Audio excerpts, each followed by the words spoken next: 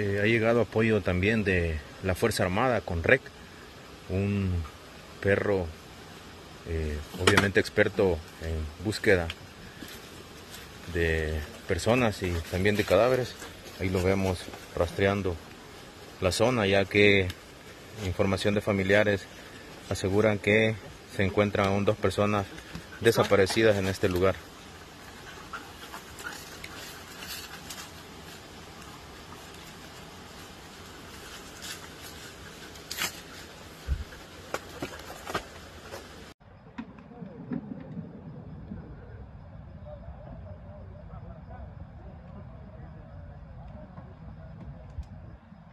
Eh, informarles que aproximadamente a las 11 de la noche y después de una torrencial lluvia en la zona de entre Quesaltepeque y Nejapa, ¿verdad? Y en la zona norte del volcán de San Salvador se dio un flujo de lodo que eh, bajó por la comunidad de Los Angelitos en el municipio de Nejapa. Eh, desgraciadamente, ¿verdad? Los pobladores nos informan de que por lo menos unas 40 viviendas han sido destruidas. De esto, mm, los datos preliminares que tenemos, que aún no están confirmados, ¿verdad? nos indican que, tenemos 40 personas desaparecidas. Tenemos sí ya eh, ubicados y confirmados a 6 personas fallecidas. Además, se han evacuado a unas 35 personas que se encuentran en este momento pues, en, eh, albergados en la iglesia Siloé y se está habilitando ya en coordinación de la Comisión Municipal de Protección Civil el polideportivo de Nejapa. También tenemos datos de que tenemos personas albergadas en la casa del joven de acá de Nejapa.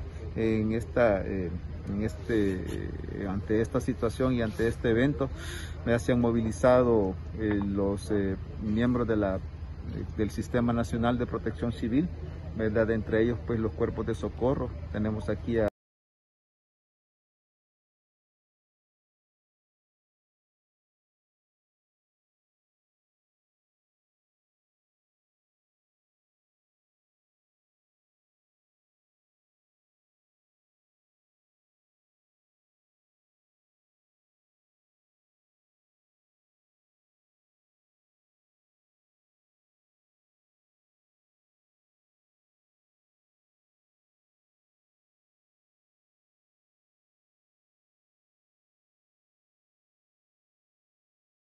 preguntarle a este joven, ¿hay algunos atrapados allí? ¿Hay un fallecido? ¿En, un carro? No, está muerto, era mi suegra y murió en el caserío a San Angelito 2 de arriba. ¿Cómo se llamaba su suegra?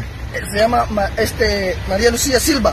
O sea que fue, fue arrollada por el... Fue arrollada por la, por la quebrada hacia abajo. ¿Qué edad tenía su suegra? Ahí sí, no sé, no sé. Pero mayor de unos 50 años. Por ahí anda repítenos el nombre, por favor.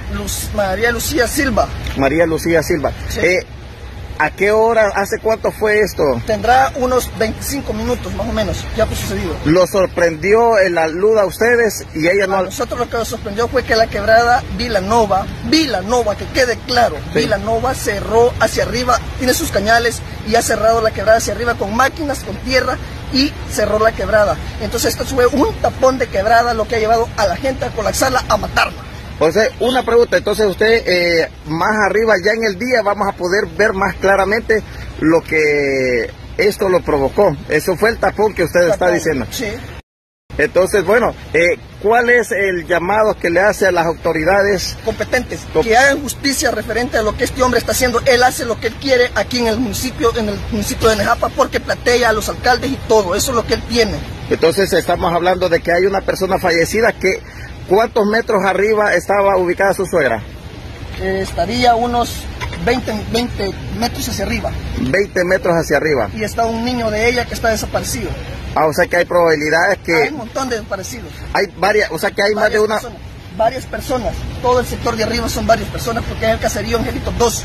Ah, el, eh, la, la, comunidad afectada es Caserío, Angelito 2. Ok, entonces eh, en estos momentos eh, comando, no, perdón, Cruz Verde está haciendo, digamos, su trabajo. Su trabajo. Pero ya localizaron a su suegra. Sí, aquí nomás está. Ahí nomás está. Sí. Ok. Y de allí otros de sus familias no han desaparecido. Este, yo creo que nos ha desaparecido un cuñado, una muchacha y un niño tierno. Wow. Entonces.